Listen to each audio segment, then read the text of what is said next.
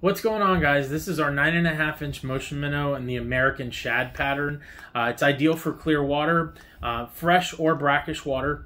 Okay, it's made out of hard ABS plastic and it's held together by double Dyneema fiber, which is very tough, similar to Kevlar. You can see it's very flexible too. That's kind of what gives it that natural swimming action. Uh, this lure weighs four and a half ounces. It's a full sinking lure, uh, ideal for water depths of 10 to 20 feet. You can slow troll this on a planer or downrigger as well.